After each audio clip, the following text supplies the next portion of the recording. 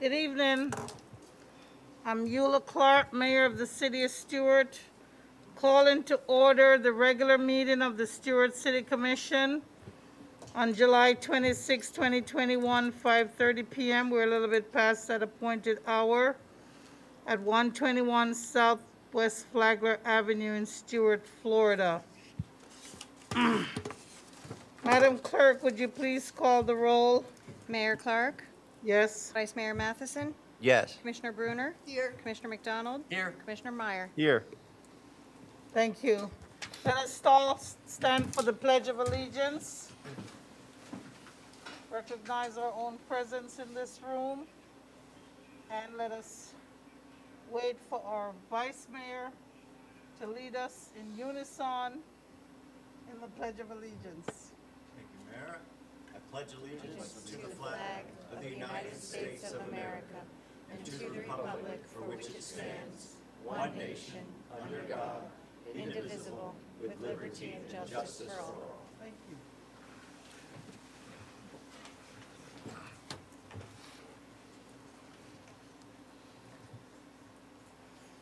First item is our comments by City Commissioner.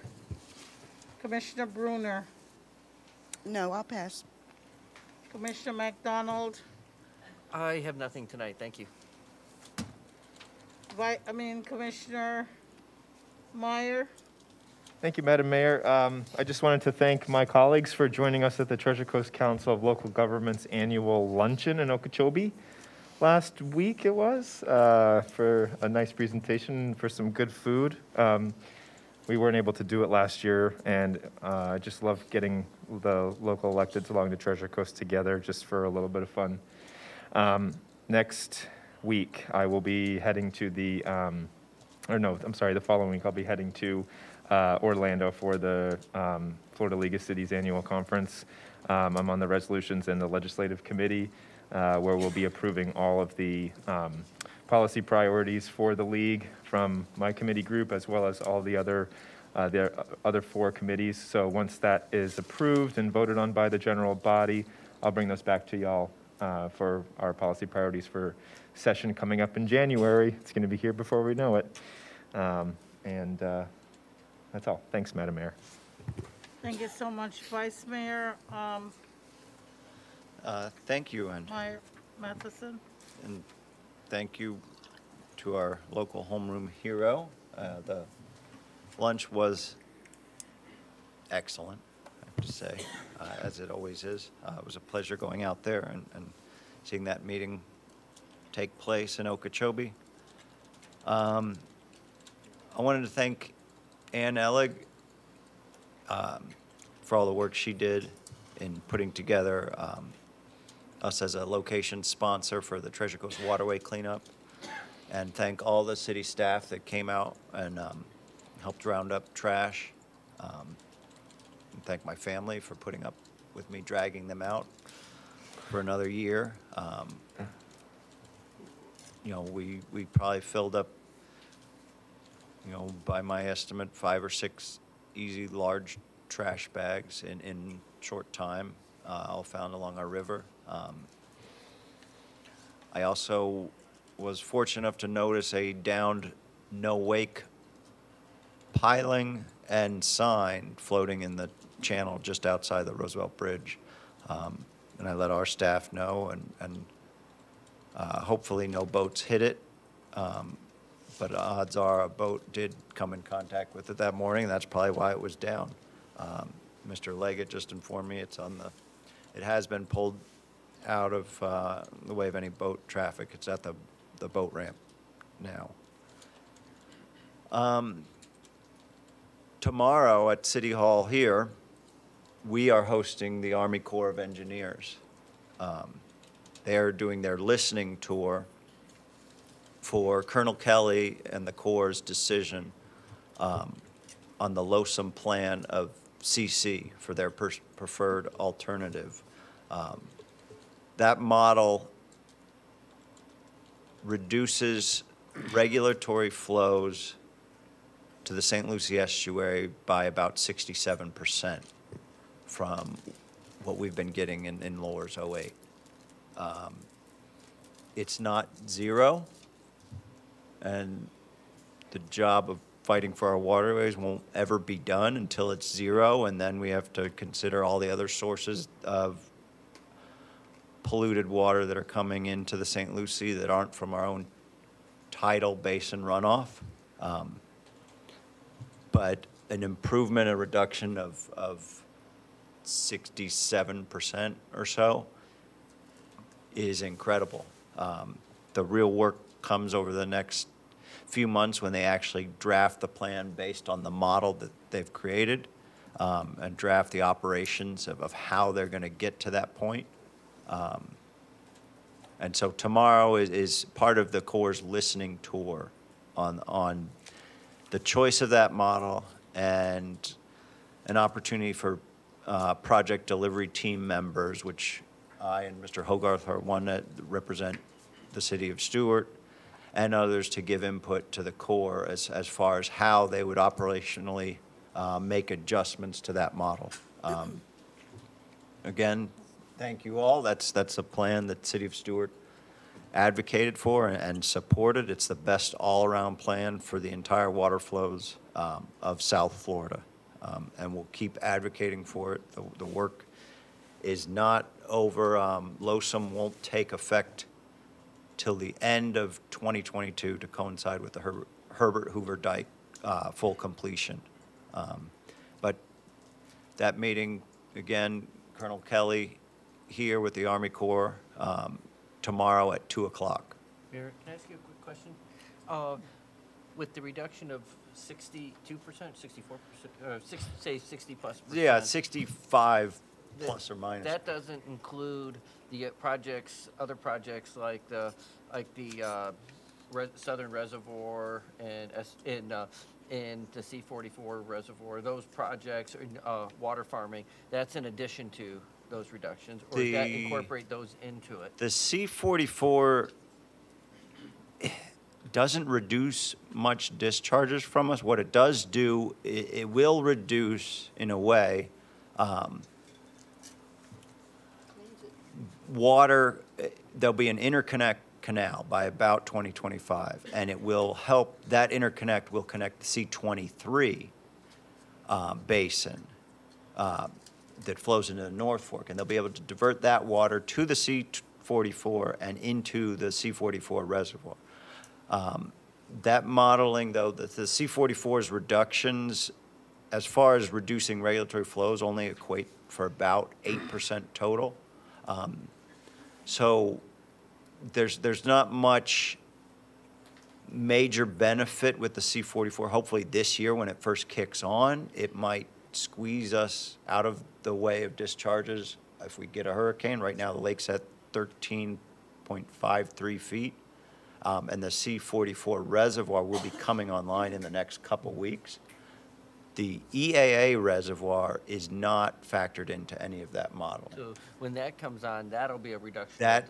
Should Okay. be a, a That's what I major was- reduction. That's what I thought, and that's what I was hoping for. And that, yes, so, uh, I mean, I'm, I'm- frankly, I'm much more optimistic, as long as LOSOM keeps going, um, the best, f- you know, for the en- environmental uh, stakeholders in Florida. I think um, I'm much more optimistic about where our water quality will be in the future than I was four or five years ago. Um, So, um, other than that, let's see. We talked about the Corps meeting. I did mention the lake height, and we're just watching major name storms that can throw a wrench into, to where we stand with that. But right now, there's no regulatory discharges uh, of Lake Okeechobee our way on the horizon. Um, And that's all, Madam Mayor. Thank you. Thank you so much. Um, Thank you, Ms. Bruner and Mr. McDonald, for yielding their time to me. They didn't say that. Okay, I'm going to be long, so be prepared. Um, I, I just want to start off by saying that uh, today I had a uh, message from Gwen, um, Gwendolyn Brinkley, and she's not going to make it to the city commission today. I think she said she might do it by Zoom if she has a chance. But it is um, almost a joy when residents are so interested in the city and they're so interested in participating, and when they can't make it, it's like, oh, I can't see it, like my favorite TV show or something. So I'm glad that there's that interest in the city, and I appreciate Ms. Brinkley for her participation and uh, her input. So on that note, we have bigger and better things going on in the city. And I will just stand to make my announcement that our city of Stuart has joined the ranks of hosting the Cal Ripken World Series. And this is the first time, drum roll, thank you, thank you, thank you, thank you. Thank you. So, um, Babe Ruth League is celebrating its 70th birthday in 2021 and will be hosting some of its Youth World Series games in Martin County and in the city of Stuart. In honor of this special milestone, we anticipate that close to 10,000 people will be coming to the Treasure Coast to be part of the festivities. The World Series games will take place at Pineapple, Halpatiokee, Sailfish, and Citrus Grove Parks from July 18th to July 6th. This is also, of course, I said, the first year for the city hosting these activities. And our Sailfish Park, which as you remember a few years ago, we were almost going to get rid of that, will be the host facility for the nine and under division of the Cal Ripken Baseball Tournament. Six girls youth softball divisions and a second youth baseball division will also be playing at public parks in Martin County during this period. The teams will be arriving at the Stuart area at the week of July 25th, which is right now, and the tournament will begin on July 31st with a salute to Service Day. Past and present military members and first responders will be recognized, and one will be selected to throw out the first pitch for each game. Normally, they'd ask us to come to the park, but I think on this Thursday, they're going to have a big Treasure Coast event at the, um, what used to be the Port St. Lucie Civic Center. It's now the, um, Jim Cross will tell me the name of it again. The Mid-Florida Center. And, uh, we'll be, some of us will be going up there for their event when they start the official thing. So again, let's just give ourselves a round of applause for being the host for the Cal Ripken. Thank you. I'm also going to be doing a lot of little reading. But um, before I continue with my reading again, as uh, Vice Mayor Matheson said, um, just want to thank those who helped out with the, um, the waterways cleanup as well as the street cleanup, which was not part of the bi-monthly cleanup in East Stuart. They did that. And um, it's just so great. I know that Ann Ellig is here somewhere. Okay, Ann is here, and maybe if you ever want to give a chance to, did you bring a video of anything that was done? Nothing, but um, how many pounds did you collect, Ann? Yes, we want to hear this. Uh, Mayor Clarke, we don't have the totals in yet, but we did fill a four-yard dumpster overflowing. Wow. And then the East Stuart community uh, simultaneously doing a cleanup. I believe their dumpster was three-quarters filled. So a lot of trash was removed from our water and our streets on Saturday. So, Thank great you. job for all. Thanks. I'm glad that we're picking up the trash, but I'm kind of worried that we're creating so much trash. So maybe we need to find some ways to deal with some other areas. But thank you so much. Thank you. Thank you very much. Um, I'd like to read something just into the public record, just to be sure. This came into us earlier this month on July 12, 2021, from the Department of Economic Opportunity.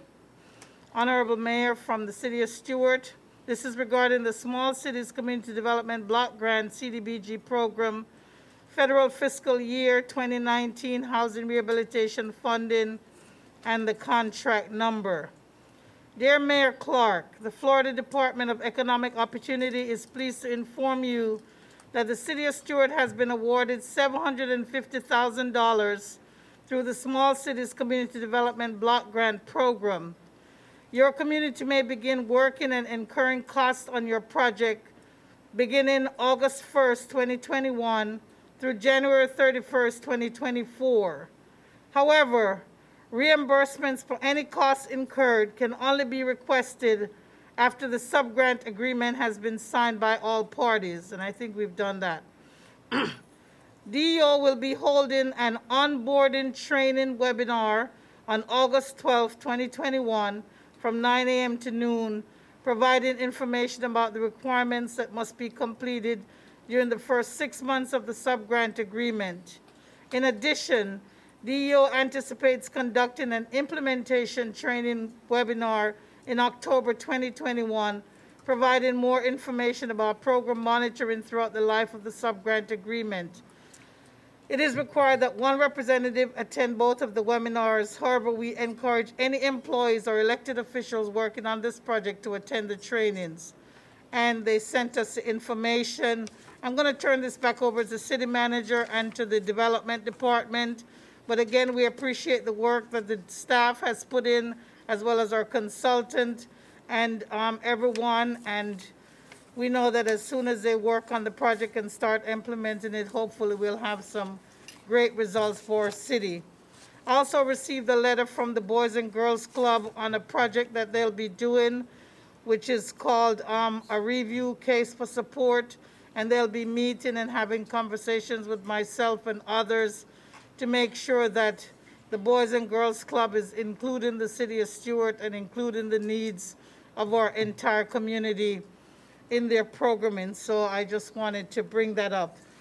The other thing that I wanted to bring up is that um, um, the Florida League of Cities is having their meeting, I think August 12th to uh, 14th. I believe, I'm sure that um, Commissioner Meier is going to be going as our home rule person, as also as the um, member of the League of Cities um, official board. And um, I will be uh, uh, thinking about going myself, so I'll have to get that paperwork in and talk more to city manager if we need any further representation, unless any other board member, if we have the money, I, um, to send somebody else to the Florida League of Cities meeting in Orlando. So that's coming up. Um, Another thing that came up is that I'm a member of the Treasure Coast Regional Planning Council Board because I was appointed from this board. They had a meeting last Friday, and one of the issues that they brought up was um, from communities within the Treasure Coast area, Palm Beach, Martin, St. Lucie, Indian River, Okeechobee counties, about which of their communities, whether at the county level or at city level or township level, had um, adopted uh, the May 20th um, date, which is the Florida Emancipation Day, for a uh, holiday for their employees, or um, also the Juneteenth federal holiday, which has just been um, ordered, and how that will affect their communities and how they're, um, if those communities are endorsing and adopting both proclamations as well as allowing for employees, whether it's a floating holiday or for some other way to accommodate those holidays. So um, we're going to have a budget workshop, I think, on this Thursday, and that will come up again. And I'm going to try to get some of the other communities. There were several communities who had already adopted one or both, or uh, um, as their as an official holiday for their employees um, in the next coming budget cycle, because both of those are basically somewhat new this year. Most people were just learning about the May 20th uh, Florida Emancipation Day as an official time, as well as the um, the Juneteenth. So we want to look at those for our budget for next year. So if the board members and members of the public would think about that so that we can have that discussed at the budget meeting. Um, I had a very interesting meeting with um, the head of the um, Housing Authority, the Stuart Housing Authority, Ms. Bartels from Fort Pierce. And as soon as we continue to work and develop a relationship and a good conversation, hopefully she's planning to make a presentation to us about how the Housing Authority works and how the federal grants work and how we can do um, more with them in Stuart and try to get to um, communicate with the persons whom they rent to in the city of Stuart. So um, that's it. It's not as long as I thought it was. Uh, oh, yeah, I do have one more thing, Mr. Mortell. So there's an item on the agenda today. I think it's item number seven. I don't have that with me. It's regarding the abandonment of right-of-way on the alleyway item. Is it item number seven? No, ma'am. It's um, number Five. five, number five. And it's actually with, yeah. So I live at 1008 Southeast 16th Court in Stuart, Florida. I'm the house that you can see on the, um, what's that? The, on the Google because it's filled with trees? trees. You can't see anything on my house, just trees. So my house doesn't show up on Google. But, um, the alleyway for 17th Street behind me is being proposed to be abandoned by the city of Stuart. I'm completing this form, I'll complete it after um, today's meeting, the hearing. But um, this is form number 8B, and it's a memorandum of voting conflict, and I have completed this. And the nature of my conflict is that, like I said, I live at 1008 East 16th Court. The alleyway behind me is being abandoned, and further, the actual street and other areas have already been occupied by Martin County as a part of the um, runway airspace and the access for the airport um, zone there, and that's also a closed-off area um, behind my home. So I don't know if there's any other thing that I need to declare, Mr. Mortell? First, that the- the reason alleyway enough, has, sir? the alleyway has not actually been abandoned. Um, That is the subject of the Oh, resolution yes, tonight, okay. as to whether to move forward on the abandonment or not. And because it could inure to us a benefit to you, you've properly disclosed the Form 8B, and we will file that with the clerk. Okay, that's, and that's your, thank you. It's been discussed, sorry. The abandonment has been discussed.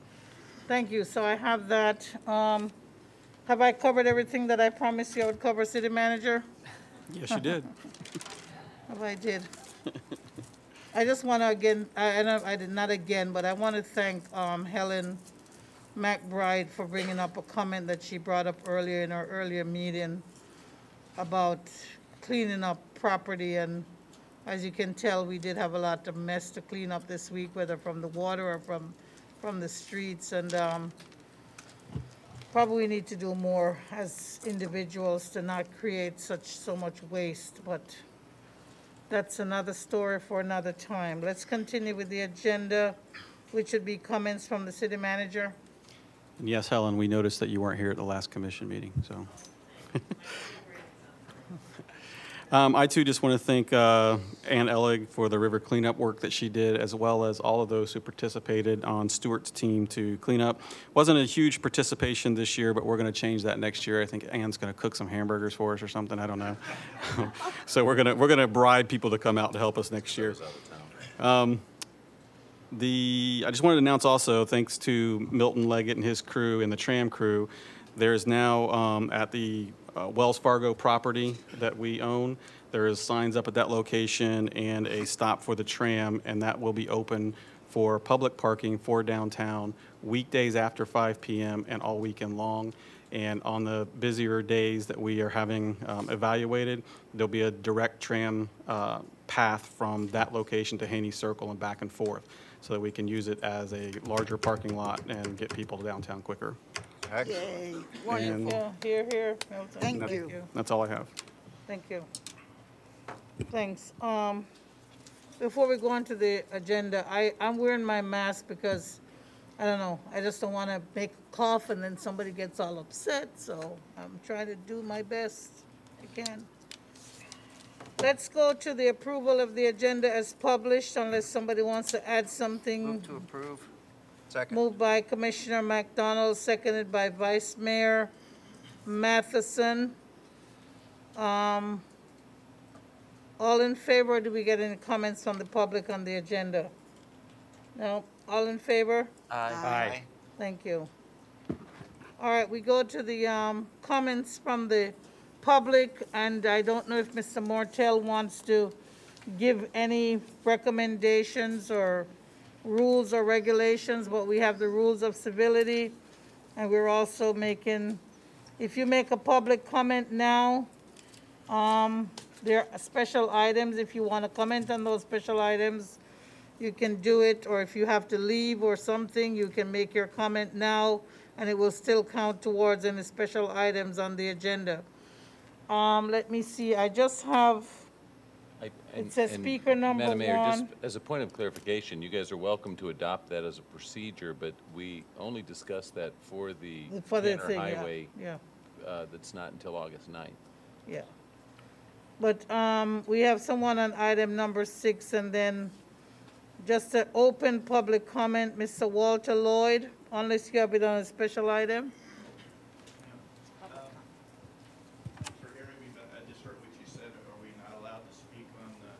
You're allowed to speak on anything you want. I'm not, Okay, I heard you say something about Kanner Highway. I didn't know if that meant. I will save your, anything you But say will anyway, be. so I'm gonna try and keep it as general as possible, but it does pertain to the process of this Kanner Highway project. Um, Again, my name's Walter Lloyd. Uh, my address is on the green. I'll repeat it if you want me to. Um, I've just come in again to say that, you know, in retrospect, uh, I appreciate everything you all are doing. You are our leadership, you are our decision makers. And I just wanted to say that, you know, in retrospect, we're, we've, we've seen a situation where the city has been used to get around the laws of the county with an annexation. We've seen negotiations made and plans developed. We've seen after that, citizens are informed by signage, notification. We've had presentations given with extensive preparation by the applicants, but relatively little preparation by the citizens, especially the affected citizens. Um, The city voted for approval at the first reading and acknowledged that we didn't have complete commentary by the public. So I applaud you for that, and I hope that we will continue to strive to make that part of the process. Um, We also did not have any expert testimony because we weren't aware that our opinions didn't count like an expert's did. So we've worked on that. You've given us the opportunity now. We will have that for you. Um, State approvals, had that expert testimony been given, probably would not have even been pursued. And from what I'm learning from our expert and things like that, uh, that may not have had been a process that was accomplished to this point. Apparently, we have gone around some of our city laws as well. Uh, I'm respectfully appealing to your leadership to represent us, allow us, hear us and our experts through our experts, and make your decisions based on the total picture with everyone represented, please. Thank you, sir. And uh, by the way, the Well, other was gonna mention recommendation from the expert was the book uh, Strong Towns, which is a good uh, indication of where our country, I believe, is going, trending in the way that they're developing strong towns. And it's a bottoms-up approach where, just like we're asking, that we have a lot of involvement from the beginning to the end. Thank you. Thank you, and Mr. Lloyd, we normally don't comment in between when people speak, but I just wanted to thank, personally thank you for allowing that book to be loaned to us, and I'll be passing it on to city manager so that he can pass it on to the other members of the, of the board. Thank you. And I would like to offer, I'll, you tell me how many you want, and I'll get you more for every one of those individuals, so you don't have to share them, because every one of you and every one of the planners should have them. Mayor, Thank you. Yeah, Commissioner Bruner? I thought all of us had that book. It was put in our box. I read the book. Okay, well, I thought, I wasn't sure I if have. everybody had received it. so- And um, I I wanted to add on the back of that book is uh, what the foresight of um, some people here in Stuart, like 32 years ago with Duane, Yes, sir. um, and how we got him here and got that start is what we've been doing for the last 32 years. And uh, uh, I was wondering who sent that book because well aware of what's in that book. Thank you, sir. Thank you, thank you. Um, we're at, that's it, um, in terms of persons who have put in a card for general public comment. If there's anyone who has a general public comment that's not an agenda item where they want to speak at the time when the item comes up, you have an opportunity to do it now for three minutes. Thank you. Um, Our next item is our consent calendar, which has um, three items on it. Madam Mayor, I motion to approve the consent agenda. There's- There's a motion by Vice Mayor Matheson, seconded by Commissioner Meier. Um, Any comments from the public on the consent agenda?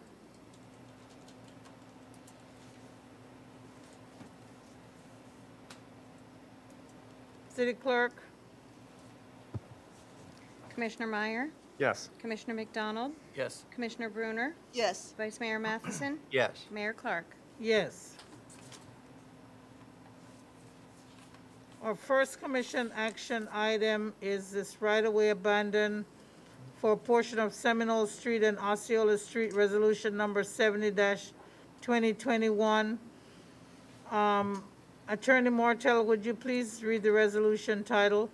This is resolution number 70-2021, a resolution of the City Commission of the City of Stuart, Florida, declaring pursuant to chapter thirty-six of the Code of Ordinances of the City of Stuart, Florida, the intention of the City Commission to abandon and to set public hearings on August twenty-third, twenty twenty-one at five thirty PM and September thirteenth, twenty twenty-one at four PM in the City Commission chambers to consider the abandonment of certain public right-of-way within the city, being that portion of alley more clearly described in Exhibit A attached here too, and for other purposes. Madam Mayor, I'll move approval. Second. There's a motion by Commissioner Meier, seconded by Commissioner McDonald. What's all these M's? I jumped the gun, but I, I, I have a couple questions if you'd like to go through and give your presentation, Mr. Reitz. Okay, please, staff. Can I, can I just announce that, that this is just the informative, that we are announcing the, the actual process. There'll be an ordinance that actually comes back before you. So I don't know that staff was actually going to make a presentation today. I put it on commission action just because you're, we're making an announcement, so ready to, to read the title in. Uh, Madam Mayor, Tom Reitz for the record. Uh, The manager is correct. It is intent to ab- abandon only. We will be bringing this back to you on August 23rd for first reading. And I can answer any questions. Um, I guess it's not a question as much of a statement, and I know this is just announcement, but I know uh, I've brought up the uh, issue of alleyways in the past and us having more, a more unified approach to them overall throughout the city. Um, The reason I'm motioning for approval of the announcement with this one, as you can see from the map there, that this is not a complete alleyway as it is, um, with the structure already on the, on the subject alleyway, and the neighboring parcel to the east, uh, or I guess the attached parcel to the east with a pool running through it. So normally, uh, a larger discussion, I think, uh, maybe to be had at the actual ordinance uh, reading.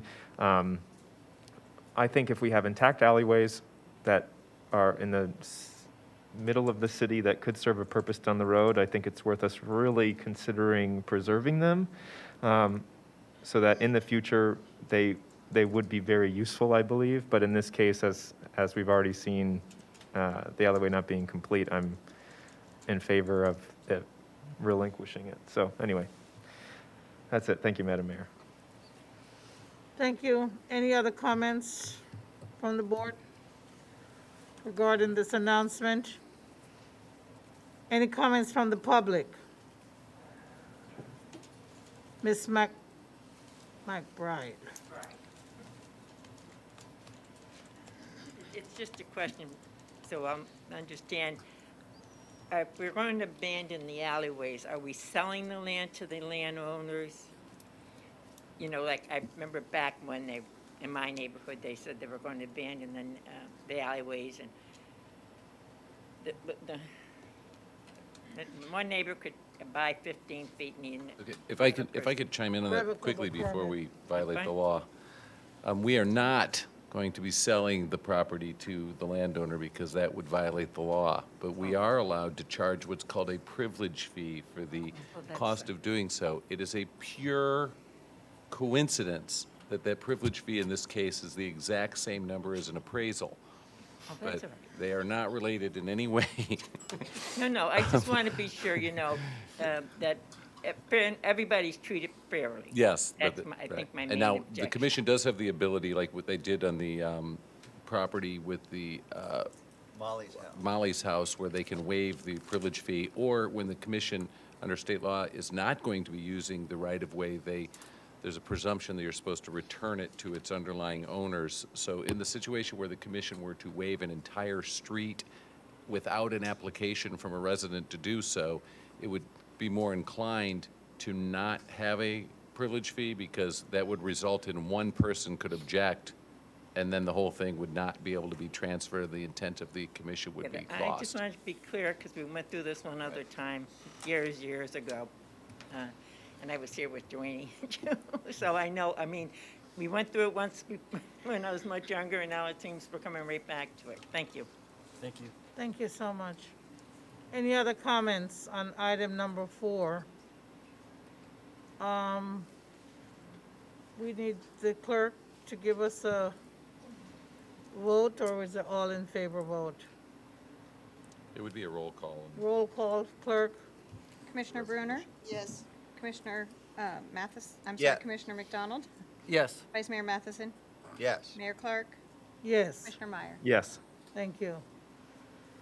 Should I pass the gavel to um, Commissioner um, Matheson to handle this other item? You, you don't have any, you, you can, I don't really have any Okay. big interest, but just to be sure. I'll handle item five. The power of the gavel. Item five on commission action, um, authorization to abandon right-of-way between 16th Court and Southeast 18th Street. Uh, Mr. Mortell, could you pre- This is- please read the resolution? this is resolution number seventy-two two oh two one, a resolution of the City Commission of the City of Stuart, Florida, authorizing the abandonment of a certain right-of-way within the city limits, being that portion of land which lies between Southeast Sixteenth Court and Southeast Eighteenth Street, which is more fully depicted in Exhibit A attached thereto, providing an effective datum for other purposes. Thank you. Move to approve. Second. We have a motion by Commissioner McDonald and a second by Commissioner Meier on Resolution 72-2021. Now that the item has come up, I'll again reiterate that I'm filing the Form 8B and that I will not be, whether or not I have any great interest just in the, for caution purposes, I'm, I won't be voting on this item. Our mayor will be abstaining from the vote. Is there any public comment on the motion? We have a motion to approve. Madam Clerk, will you please call the roll?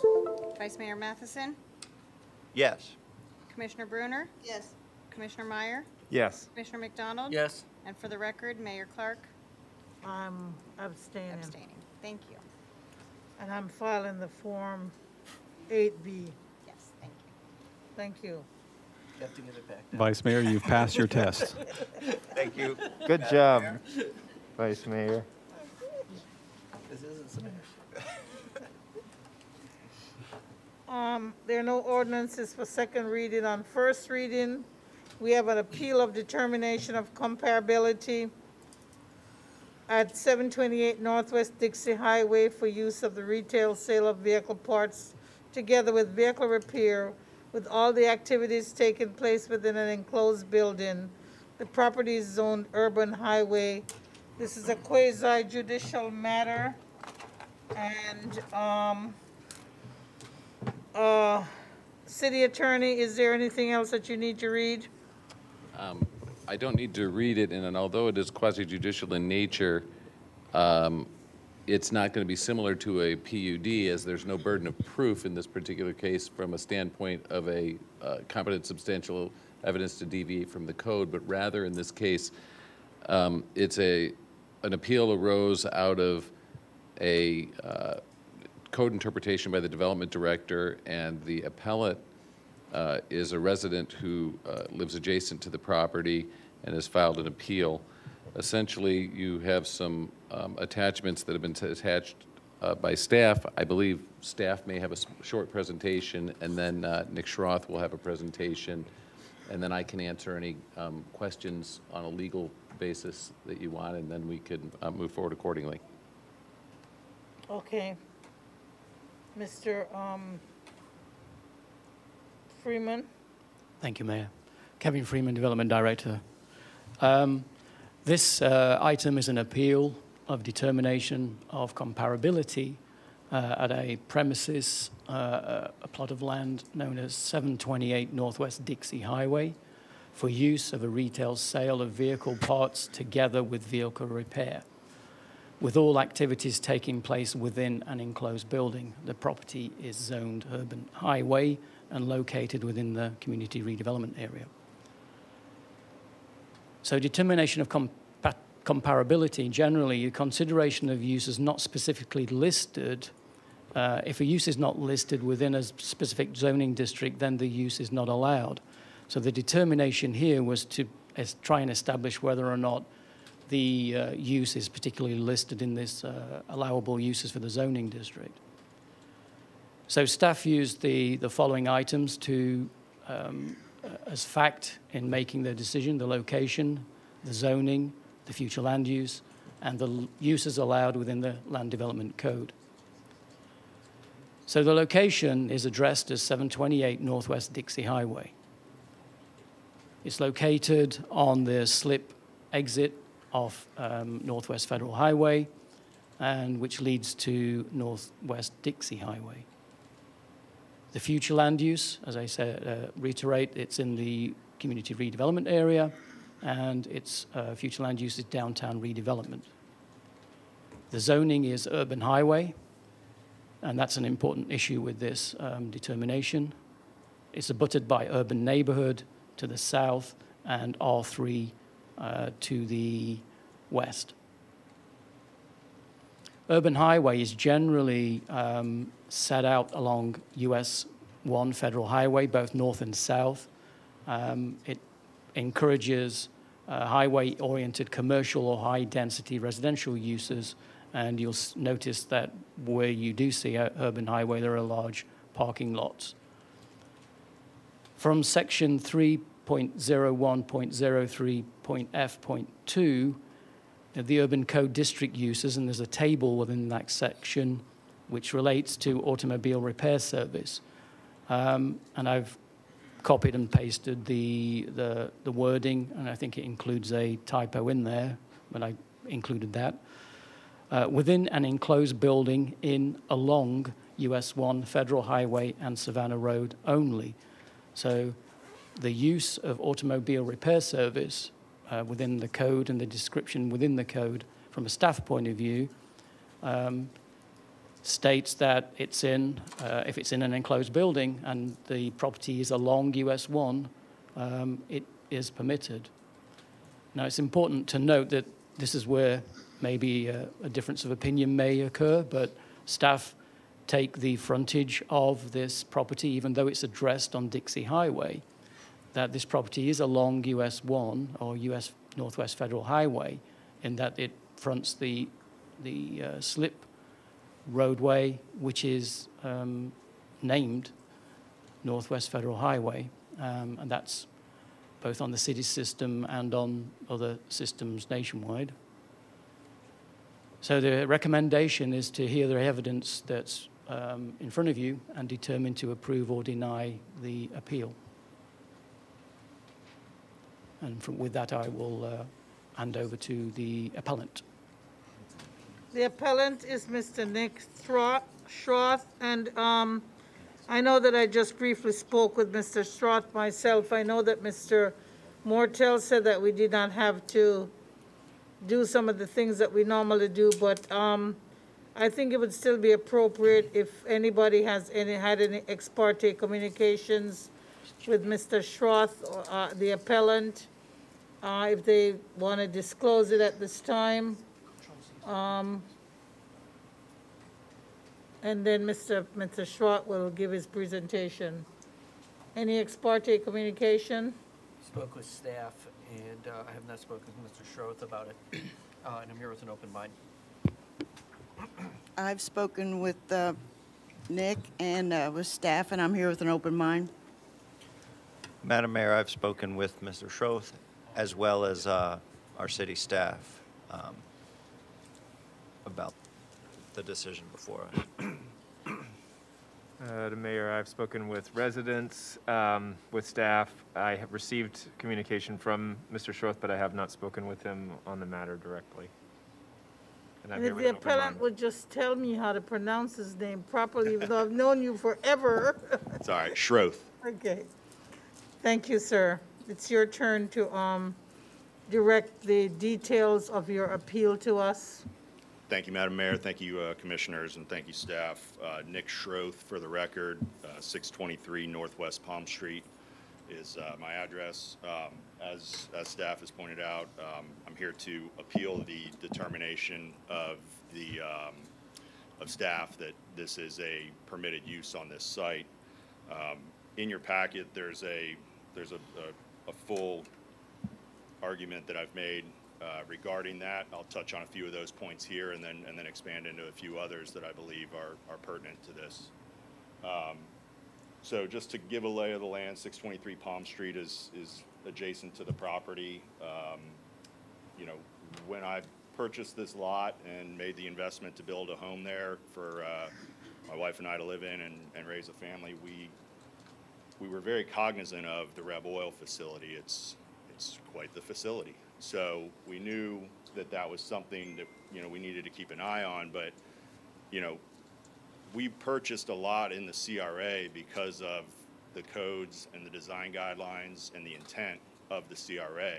And so, um, you know, I believe that those have been brushed aside here, and, and that's what, that's part of my appeal. Um, as far as the, um, the, uh, addressing, um, you know, my, my package appeals, or, you know, discusses that, and I'll get into a few of those points. So, um, obviously with number five, the, the address of the property is, is Dixie Highway. It has that address. Um, I disagree with staff on number six. Access is from Dixie Highway. In your, in the package that I uh, provided y'all, there's pictures of how the property is accessed from Dixie Highway. There's a left-hand turn lane directly that accesses no other property from Dixie Highway except this property. Um, Another large factor here is the letter that was issued by the city in 2016 to Mr. Branker. Um, It it regards the loss of grandfathering rights related to this property. So in 2016, it was determined that the facility or the property had been shut down for a period of time such that any use there would have to conform to code. Um, I took great homage in this letter, along with other neighbors, um, who I think you'll hear from today as well, in that the investments that I made in the area of this property were going to be justified because this property would be held to the code, the same urban code that I'm building to, the same urban code that anybody would have to build to, the same urban code that is, you know, greater and, and, and more thorough than regular codes throughout the city and the county, because that's what we're trying to do here. We're trying to, you know, redevelop this area. Uh, Number eight, the urban highway zoning specifically restricts the use of auto to Federal Highway and Savannah Road. So that's important because it's not like we're trying to, you know, approve an underwater basket weaving operation here, and that is not a use that the code specifically permits, but it's similar to another code, another use permitted under the code. This use is specifically not permitted on this property. Um, A couple other ones to touch on. Number nine, um, think I touched on this a little bit, but in order to access the travel lanes of Federal Highway, you have to travel at least a mile, uh, either up to um, Wright Boulevard or south to Joan Jefferson Way to actually access a travel lane of Federal Highway. Um, And then uh, number 12, um, you know, I, I don't know that the um, characteristics of the, uh, of the use have been properly evaluated. Giant Oil is a fuel jobber, and if you're not familiar with what fuel jobbers do, they, they operate fuel distribution. And they have trucks and they have oil. Uh, They generally store oil in warehouse buildings, similar to what you'll find on the property today. So is the applicant, or, or is the owner of the property going to be storing, you know, bulk oil on this property? Um, Does that change the occupancy of the building? If all of the grandfathering rights of the property have been, have been lost, will the building's occupancy change from, you know, whatever it was before to a level H hazard occupancy? And if so, what is being done to, to fire protect that building? What kind of life safety measures have been taken to, you know, permit this use and, and, and how does that apply, uh, or how does that conform to 2021 building code? Um, so that touches on a few of the things here. Uh, Fuel trucks being parked on site, I don't know, uh, in my public records request, I didn't find any relative, you know, information. If this was a public process, these questions, you know, could have been asked in a public forum, similar to what we have today. Um, Stormwater improvements, uh, it, it didn't appear that there was any proposed as part of this uh, plan. In fact, the applicant, or the property owner was cited for a code violation for, for trying to trench into a neighbor's property. Um, So, you know, I, I think that's something that if we're, if, if the building's lost all its grandfathered rights and it needs to conform to the code, uh, stormwater is a code requirement, you know. At new development, the new development that I'm doing, the new development that, that you're seeing in the city has, you know, stormwater requirements that cost hundreds and hundreds of thousands of dollars. And, you know, we're required to make those investments and I'm happy to because it it leads to a cleaner river and, you know, that's really a goal that we all, you know, hold very high. Um, 12, uh, 12.i says that the type and extent of impact on adjacent properties created by the proposed use in comparison to impacts from other uses allowed in the zoning districts. I, you know, I was never contacted and said, hey, you know, was this, is this a use that you would be okay with?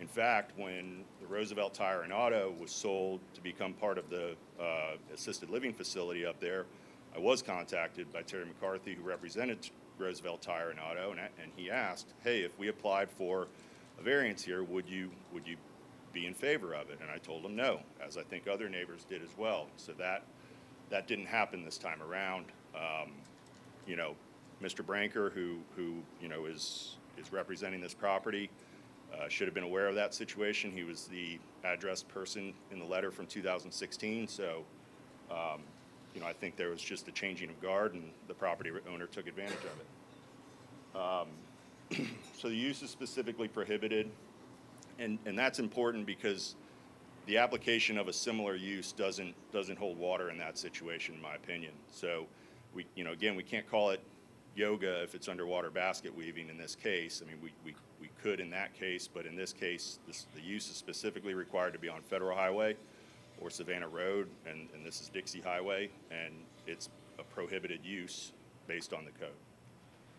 Um, I'd also like to touch on some of the matters that, that weren't addressed as well. Um, the urban code has very specific design requirements, and, you know, again, when, when deciding to build uh, on the lot that we chose to build on, we, we knew those design requirements. We felt those design requirements would be applied to any kind of construction on the, uh, on the Rev Oil facility, and I feel like in this case, they were not.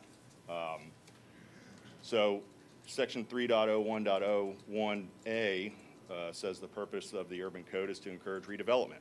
I don't believe we've complied with that purpose here. Um, Non-conforming uses, uh, you know, again, the, the letter from the city uh, in 2016 addresses that the, uh, the property has lost all its grandfathering use.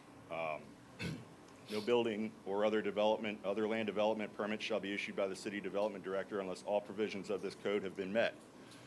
Um, So we'll touch on that. Applications are required to contain proposed development activities and design building plans, front, rear, and side architectural elevations. There's been no elevations. I understand we're working with what's existing here, but are we, are we changing anything of the existing? Are we making it look any better? Um, I don't believe the applicant or the, the property owner in this case uh, made any of these app- applications and provided any of this infor- information. Um, It shall be unlawful and a violation of city code for any person to construct, renovate, or remodel, and renovate or remodel is important here, I believe, a building within the urban code district except in compliance with the provisions of this urban code. 3.01.03, urban standards and regulations for desi- designated urban subdistricts. Section D states the setback for the building should not be more than 10 feet. I believe the building does have a setback more than 10 feet, but there wasn't a survey included as, uh, that I could see that, that, um, you know, provided for that. Uh, The rear setback of 15 feet. The minimum building height is two stories or 26 feet. Well, the front building is a single-story building. So are we, are we issuing a variance for this, or, or are we not? Um, All parking areas shall be located behind the rear facade of a principal building or screened from public right-of-ways. I don't believe that's happening here. Curb cuts, not more, one- more than one curb cut every 100 feet. I don't believe we've addressed that. Uh, Finished floor elevation, um, you know, there, there's a section of the code that requires that buildings get set to a certain finished floor elevation to avoid flood damage. I don't know if that's been, uh, handled here. Again, touching on stormwater management, um, there really, there wasn't a stormwater plan issued, there wasn't a, a- permit for stormwater improvements to my knowledge. Um, public art, not a part of the package. Uh, Landscape buffers are to be twenty-five percent of the setback. Um, I know there was a landscape plan provided. I don't, uh, I don't believe it conformed to this code. So, you know, that might be something, um, staff could take another look at. Um, Section G2 does give the development director some latitude to work around existing conditions, but it really doesn't lessen the requirement. And, you know, part of this uh, requirement that street facade of a building shall contain hedge potted plants or trees planted in public right-of-way, I know, I know that hasn't happened here, so, um, you know, I'm- I'm wondering what, you know, how, how that was uh, dealt with. Um, architectural standards and regulations, you know, this is a fairly, fairly big item here. There's a lot of things that are required. There's really, we put a lot of weight in this when we decided to build there because the CRA would generally require a prettier building than you would get elsewhere in the city and certainly in the county. So, um, you know, things like, uh, things like the mansard roofs, um, you know, windows and doors, I, I don't know that there was anything that was submitted that showed that either what's currently there conforms with code or what they're proposing to replace conforms with code. Um, Building colors and finishes, they've, they've proceeded to paint the building white and blue, similar to an Exxon station, and I, I don't think that meets the code. Um, So, you know, I, I, even sidewalks, um, I don't know that the sidewalk, there is a sidewalk in front of it, I don't know that it's six feet. Um, All building and site lighting shall be decorative, uh, they replaced all the lighting there, it was not decorative.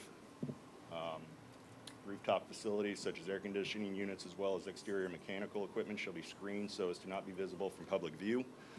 You can see the rooftop AC units on this property. They've propo- proposed no mansard or any kind of, you know, remedy to that. Um, So, you know, the, the code's also pretty specific in what is allowed as a minor conditional use, and that is specifically public art and architectural materials. Everything else is a major urban code conditional use, and, and I think it's important that we recognize that the use that they're proposing is just not allowed. The other items that I've pointed out today are where, you know, I take additional issue with the determination. And this property is going to require variances to be used, and, and that's fine. I have no problem with variances. But the process that should have been taken is a major urban conditional use, and that would have allowed, you know, public input. It would have allowed, you know, hey, I can't move this building. I'm trying to reuse it. It's only one story. What can we do to, to help? Okay, well, let's come up with ideas and, and let's, let's figure it out. This, this property will require, um, you know, some, some public input and some variances, and, and I want to be very clear that I'm not an anti-variance person. The code did not, was not built around the Rev Oil facility, but um, there are certain things in the code that are, that are, you know, not to be deviated from in my mind. And, and I think it starts with the purpose and the intent of the, of the code, and that is to foster redevelopment in areas that, that merit redevelopment. So thank you for your time today. Uh, Happy to answer any questions that you all might have. Thank you, sir. Um, Staff, do you have any questions for Mr. um, Schroth? Uh, I don't have any questions for Mr. Schroth, no. Do any of the commissioners have any questions for Mr. Schroth? Mr. Schroth, what year did you buy the property? Bought the property in 2018. And um, Mr. Meier? Um, I, I don't really have a question for Mr. Schroth. Um, I mean, I have a few comments, but, well, I guess I have a question for staff. Um, so, this is my first time with an appeal like this. Um, just for our purposes up here, are we looking to, uh, make a motion to grant the appeal and then make a recommendation that it go through a The appeal has, Conditional use? the- the- pursuant to the, pursuant to the city code, 8.07, it says that a property owner has the right to an appeal or appeal an administrative or decision by a staff member. So he filed the appeal as a, as, as background. The app, the documents attached from, by, by Mr. Freeman in the, uh, staff item is in fact, uh, Kevin's determination of comparability that was entered, I believe, on May 4th or 5th of 2021. Mr. Schroth had 30 days from the entrance of that to file his notice of appeal, which he perfected and did in fact file within that 30 days. Originally, the representative Giant Oil had taken a position and written a letter saying that he objected to Mr. Schroth filing his appeal because it was untimely because Giant Oil took the position that it had been granted this determination of comparability sometime before, and therefore the 30 days had run. That didn't end up coming to fruition or any evidence of that being produced, and in fact, there was produced, and because Giant Oil took the position that it was based upon the fact that they had been issued a permit. The permit that was issued by Tom Reitz, which is also in the agenda packet, in the last sentence of the permit very clearly states, this is not an administrative variance, this is not a determination of comparability, et cetera, and rather that is something that has to be obtained later, which demonstrated that it came now. So, the appeal has been timely filed by Nick. The- appeal is before you as a board now, and this is what you're appealing. The question before the board is, did the development director have the authority to grant the determination of comparability? And if so, did he properly follow the code in so doing? A- And, and, and making that determination, you would say, not could you differ with him, but, because anybody could differ, but it was his finding reasonable and within the confines of the code? Or could someone have drawn that conclusion? First issue raised by Mr. Schroth was, and, and, and Mr. Freeman pointed out that his, the, the code itself in section two point oh three says that the determination of comparability can be made at such time, or, I'm sorry, two point oh two point oh one, A, it can be done, uh, if the use is not specifically listed in the code. And Kevin's position was is that the use wasn't listed. Mr. Schroth's position was the use is listed, and the use is listed and says it's specifically not allowed. So first, I guess the board's first decision would be to determine whether or not they believe the um, development director had the authority to make the determination do we- based upon the code itself. So in the code, it says if the, if the use is not a listed use, then the development director can do a, whatever it's called, the determination of comparability. So is that language that was posted in the code sufficient to make it a listed use or a not a listed use? And if you look at the code two point oh three, and I'll pull it up right now if I can, I have it pulled up. okay. I, I have a question, Mike. Do, with any motion we do to grant or deny the appeal, do we need to do a fi- series of finding of facts as part of the motion? Is, I guess, is what I'm at. Well, I mean, That's what he's trying to. You're gonna walk- deliberate it, right? So at such time as you guys, whatever the motion is, the- the motion is to determine the sky is blue. And then the other commissioners are gonna discuss it, and I'm gonna say, well, I think the sky's blue because of the water vapors or whatever. So So during it's that, the, the findings of fact are determined. If in fact you guys feel you need a basis for your motion or a finding, then it would be encouraged. Because yes, the more findings of fact, the easier it would be for either to challenge or not challenge it. Um, But it, in two point oh two point oh one, it says, consideration of uses not specifically listed. If a use is not listed within a specific zoning district, then the use is not allowed. However, a proposed use that is not listed within a particular zoning district, but which is determined by the city development director to have character, similar nature, and impact to a permitted use in that district, the city development director may make a determination of comparability to the applicant. So then if you go down into the uses in the chart at 2.02.02, Table 2, Land Uses, and you scroll down, you find that it says, um, bear with me. I'm still scrolling. Uh, It says, automobile repair services, comma, major and minor, refer to supplemental standards. Next one, automobile sales provide all repair and services shall be done within an enclosed building, referred to supplemental standards, section 2.06.05. And when you go to the next chart, which I'm going to, is with the one that says that it shall only be used or only be done in a uh, enclosed building on US 1 or Savannah Road. So the question is, first, is that a use that's listed or not listed? Because, I, I believe that the u, proposed use is not listed, based on what, what, I okay. disagree. Um, Could, you- okay, just let's, let Mr. McDonald finish his I mean, it's thought, not please. listed as a permitted use. It is listed, though, and that's, that's where it gets to the point that in the, the first sentence that Mr. Mortell just read, that dictates whether it should go through the commission Right. as a conditional use permit, or whether the development director has the authority. Um, But basically, you know, in section 2.02 of our code, uses allowed in zoning districts. Section A, consideration of uses not specifically listed.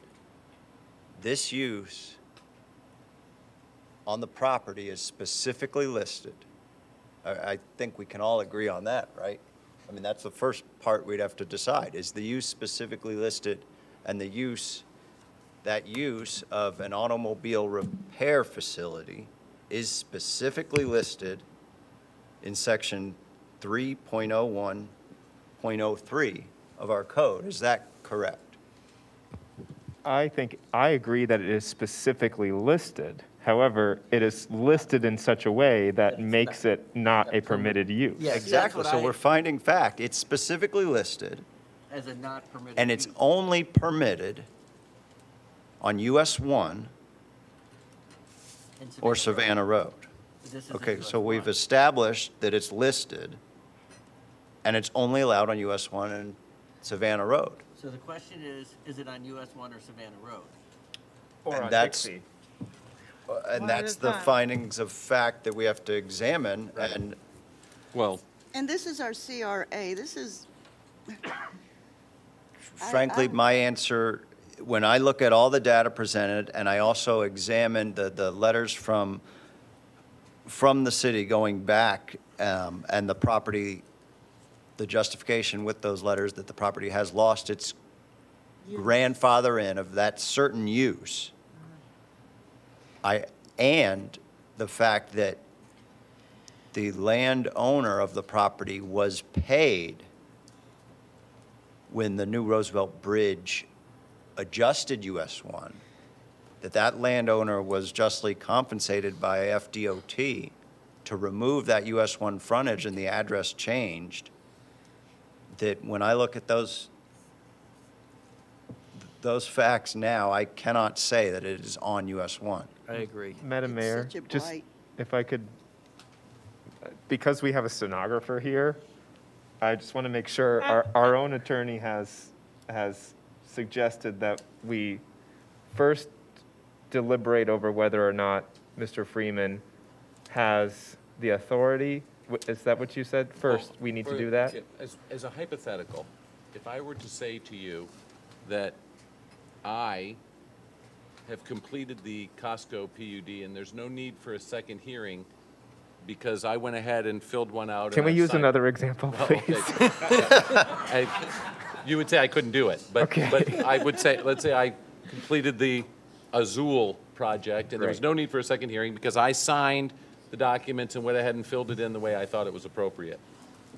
That's really easy. Everyone would see that and say, Mike Mortell does not have the authority to do that, and therefore, it must be reversed, it must be canceled. So the question that, that Mr. Schroth has raised Right. is, does the development director have the authority to do a conditional review or a, de- a determination of comparability in this case? Right. Does our code award him the jurisdiction to make the determination in this case? Well, the only, the only language that is instructive on that is that initial language in the uh, 2.0, 2.01 that, that uh, Commissioner Matheson read, and that says the, um, if it's, if the use is, consideration of use is not specifically listed. If a use is not listed within a specific zoning district, then the use is not allowed. However, a proposed use that is not listed within a particular zoning district, but which is determined by the city development director to have a character, similar nature, and impact to a permitted use in that district, the city development director may make determination of comparability to the applicant.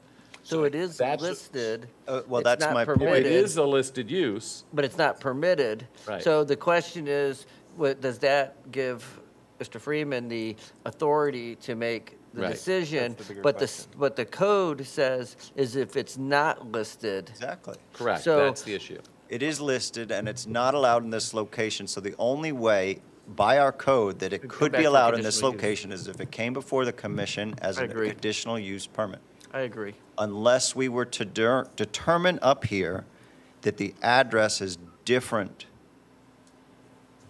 Well, if Then Dixie determine that Highway. The address is different, then That's, it may be a different zoning district. That's what I'm trying to, maybe before we go through, like, the finding of fact on the merits of the argument, I think the, the question we just have to, like, the easiest solution here is just to say we don't agree because it is listed.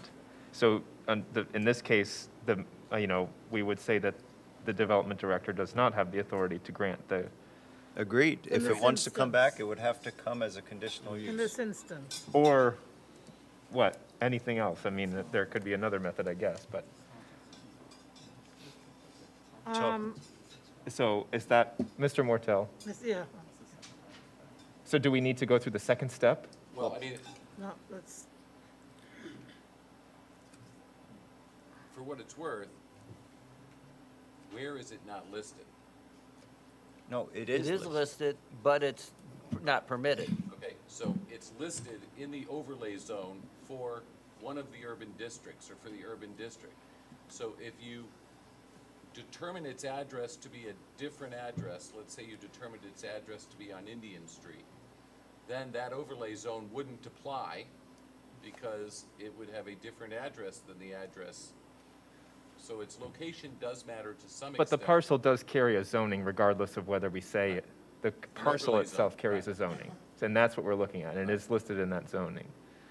So I just, you know, when this, to get a, so that we don't get ahead of ourselves, if this might come back as a conditional use, I think we just simplify it and say, you know, I would make a motion, maybe you can help me, Mr. Mortell, that the, that the, a- as this use is indeed listed, but as a not permitted use based, On the as it's listed, just leave it at that, that the development director does not have the authority to, And then you guys could Make the- deliberate and vote on that. okay. Correct.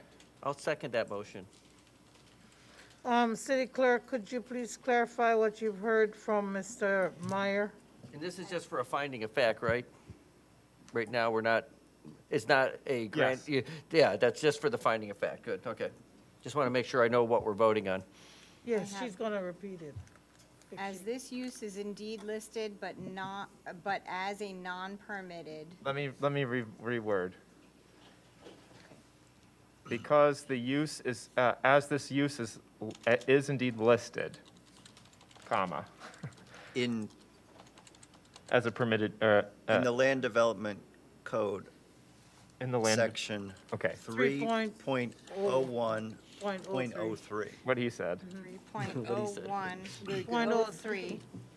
You beat me to Municode. I'm usually the Municode guy. Yeah, you're subbing. Uh, yeah, I gotta watch myself.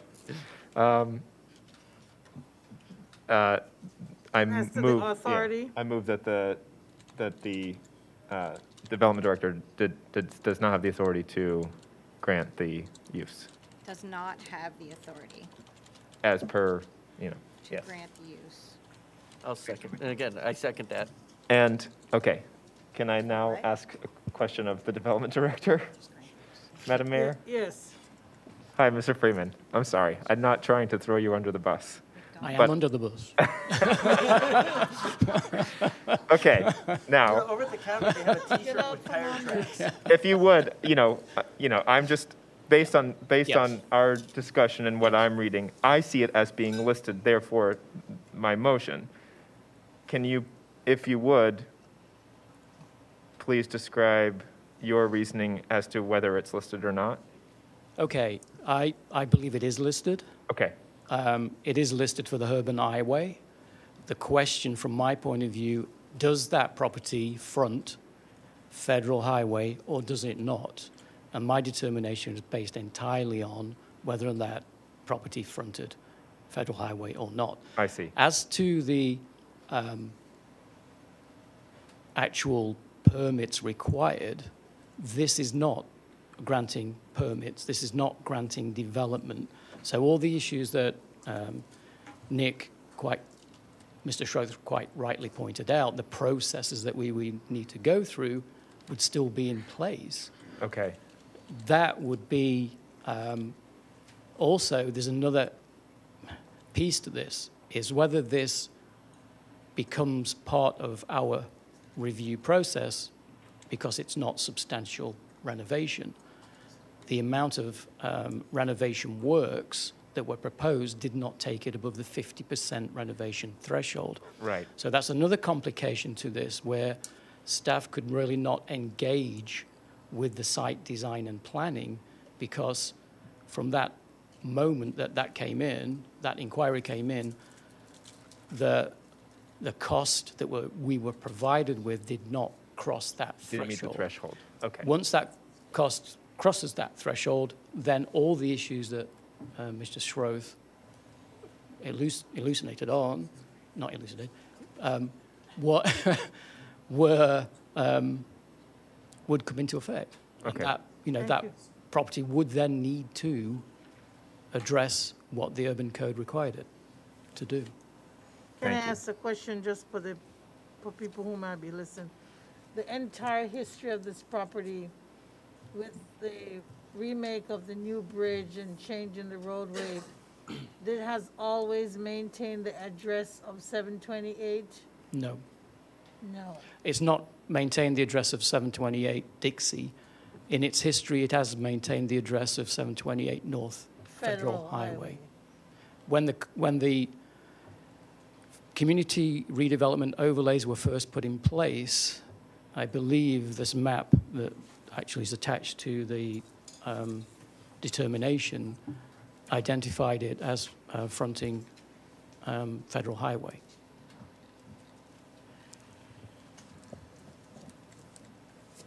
Are there any other clarifications that we need to, um, I, I- I feel I should just, as a point of clarification to that discussion, it should also be noted that what happened here is obviously the drawbridge portion of Dixie Highway was originally US one from Maine to Key West.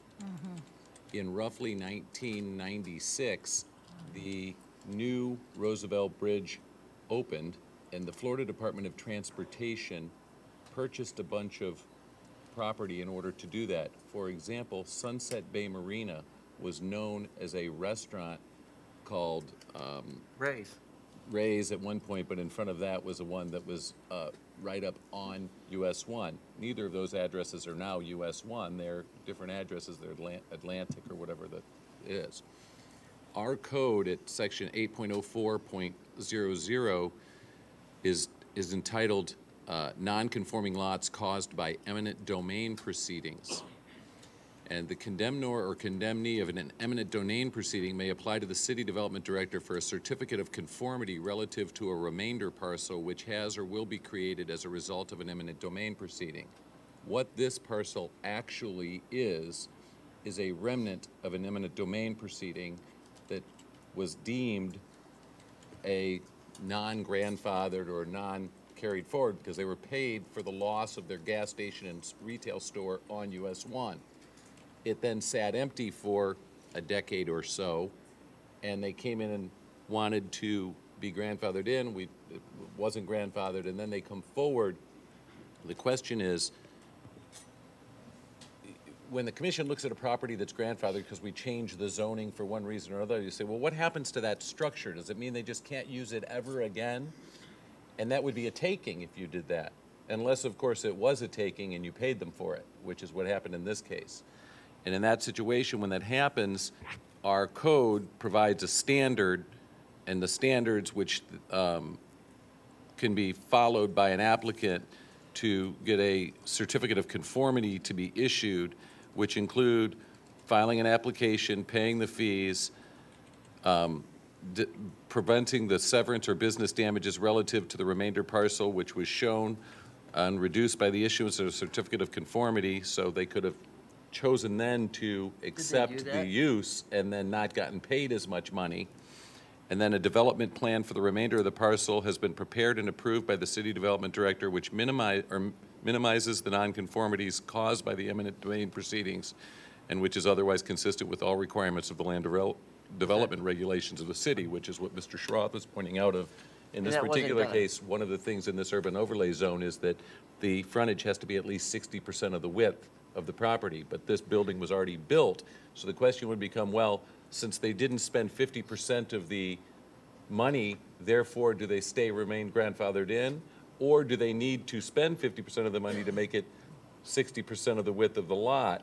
And you get into these complications because this isn't a standard situation where a property was just grandfathered in by a zoning change. It was actually a taking that took place by FDOT, and they elected to keep their remnant parcel. They waited a long time and then said, hey, we want to use our parcel just like we used before when we got paid for it. And that's kind of what happened. I, yeah, I, I think that, I mean, that's some good information, but from where, from what I can see, I think it's still, it still is as simple as, What's the address? right. Well, no, not even, because again, the address, th- the parcel has a zoning. The address, you can, ac- you can access it from anywhere, whatever number it has on it, doesn't matter. It, on the map, it's got a zoning and a future land use, so that is what, that's what it carries. You know, Well, again, it's listed, that's the issue.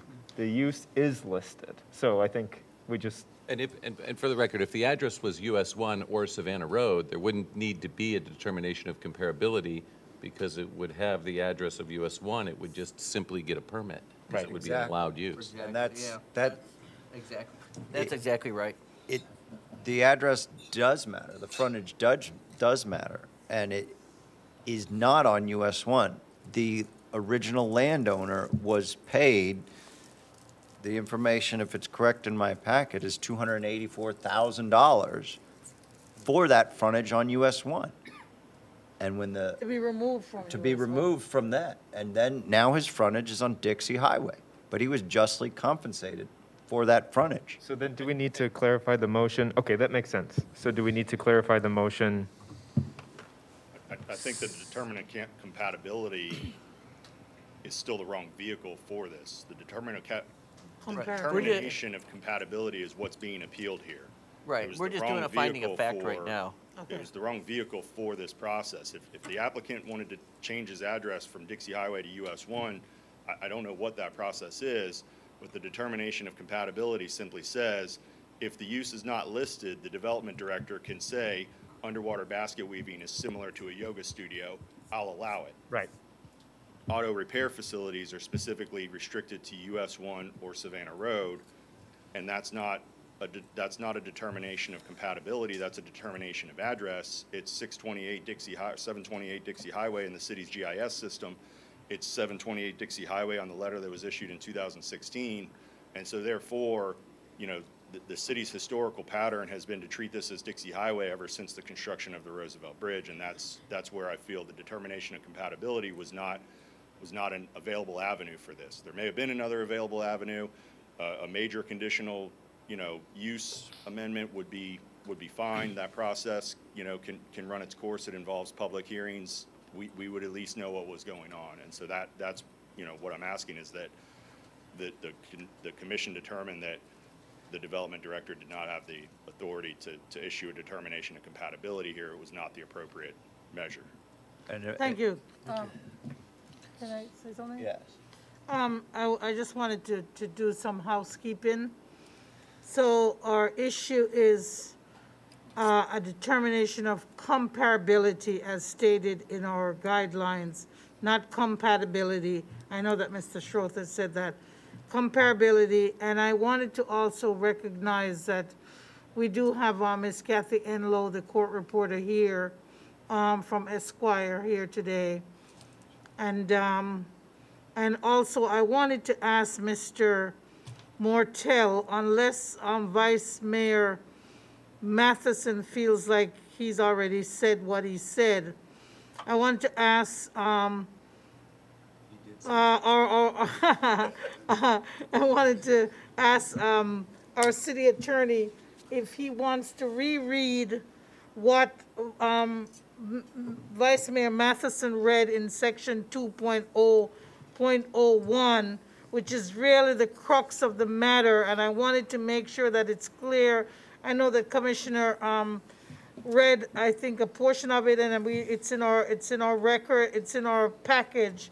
But just to be sure that that's the crux of the issue with regard to the determination of comparability, if we needed to actually read that into the record as to the issue of what we're talking about with the, um, the, uh, the decision of the, um, the, the written published decision of the, um, growth management director, the development director. I mean, it's, it's the the pleasure of the board. I'm happy to read 2.02.01. Yes, sir, please do. Okay. Uh, 2.02.01 generally, it is the purpose of this section to identify the uses allowed in each zoning district. Open parentheses, Table 2, residential uses, business uses, and public service, industrial, agricultural, hospital, and PUD districts uses. A, consideration of uses not specifically listed. If a use is not listed within a specific zoning district, then the use is not allowed. However, a proposed use that is not listed within a particular zoning district, but which is determined by the city development director to have a character, similar nature, and impact to a permitted use in that district, the city development director may make a determination of comparability to the applicant. Conditions may be placed on the decision. A determination by city development director that a proposed use is not similar to a permitted use may be appealed according to procedures in Chapter 8. In making such finding, the city development director may assess all relevant characteristics of the proposed use, including but not limited to the following as applicable. A, the typical volume and type of sales, retail or wholesale, size and type of items sold, nature of inventory of the premises. B, any processing done on the premises, including assembly, manufacturing, warehousing, shipping, distribution, and any dangerous, hazardous, toxic, or explosive materials used in the processing. C, the nature and location of storage and outdoor display of merchandise, whether storage is enclosed, open inside or outside the principal building, and predominant types of items stored such as business vehicles, work in process, inventory, and merchandise, construction materials, scrap and junk, and raw materials including liquids and powders, hazardous or not. D, the type, size, and typical massing of buildings and structures associated with the unlisted use. E, transportation requirements, including the model, modal split for people and freight by volume, type, and characteristics of traffic generation to and from the site, trip purposes, and whether trip purposes can be shared by other uses on the site. F, parking requirements, turnover and generation, ratio of the number of spaces required per unit area or activity, and the potential for shared parking with other uses. G, the amount of, and nature of any external effects generated on the premises, including but not limited to noise, smoke, odor, glare, vibration, radiation, and fumes.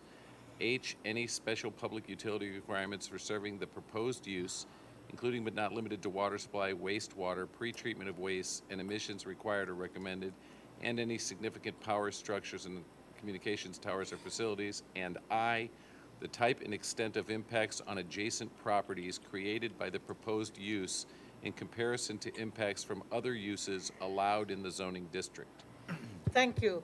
And I went to that painstaking um, thing because I don't want, after we've made a decision on this, that we say that, oh, there was one little item, E, F, G, H, I, that we didn't consider, or that Mr. Freeman didn't consider, or that Mr. Schroth did not um, address in his appeal. And I just wanted to make sure that that main area, as well as, of course, section 3.0, 1.03 um, that we also um, have previously discussed, but I wanted especially because that part about the, the, the, um,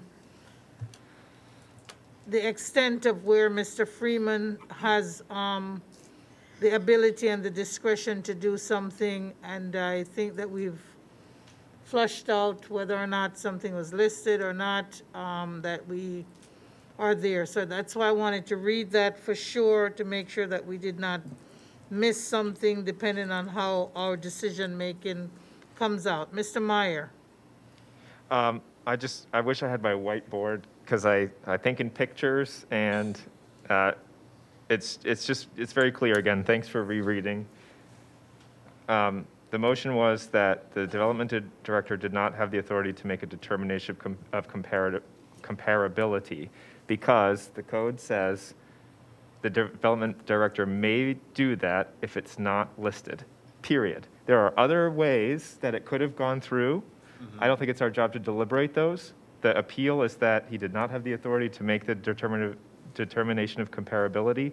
The address doesn't matter either, because if the address were correct, he wouldn't need to make a determination of comparability because it would be an allowed use. So uh, any way you approach it, any direction you approach it, this is not the appropriate, he, he, he- the development director does not have the authority to make that determination because it is a listed use. That closes the whole case. So, Thank you. There was a pre- previous motion. Is there any other discussion? And Yes, should we- because I, just as a point of clarification, when Commissioner McDonald said, this isn't the closing of the whole case, this is just a finding of fact, the board reached a consensus. So if, if that, we need to address that motion. Is the motion intended to be a conclusory or just a finding of fact before moving forward? do I need, I can make a new motion? Well, there's a motion on the to floor. Yeah, you can modify. Let's if you vote wanna on the motion and we If you want to modify that motion to either, to. den- Well, we grant did the- say it was a finding of fact, you're right. so Right, so let's- let's just do that and then have a motion on a grant or deny. Okay. Are you making a, fu- a change, Troy, so that he can? No, No, no, the motion was to, as a finding as a of fact. finding of fact, that the development director did not have authority as a finding of fact. So is there public comment? Um, Public comment before that vote, I guess, yeah. um, i- Is it seconded, um, Troy? Yeah, I Okay, seconded it. okay, all right, thanks. Any public comment unless staff or the applicant wants to make a comment on that first? Public comment, yes, sir. Uh, hold on, did you send up something for item number? I did, I did. Chris Klein, on the adjacent property to the north of the Chris subject Klein, property. yes, thank you, How are you? thanks. Uh, thanks for allowing me to speak tonight. I- I mean, I think it's Nick did a great job. Thank you, Nick. Without Nick, I wouldn't even have known this was going on. I bought the property five, Chris, six. could you speak in the mic? I- we Yeah, can't I hear bought the you. property adjacent to the north five, six, seven, eight years ago, and I remember doing my diligence. I've been in commercial real estate for 33 years, and I remember specifically saying it wasn't going to be an automotive-related use, and made financial decisions based upon that.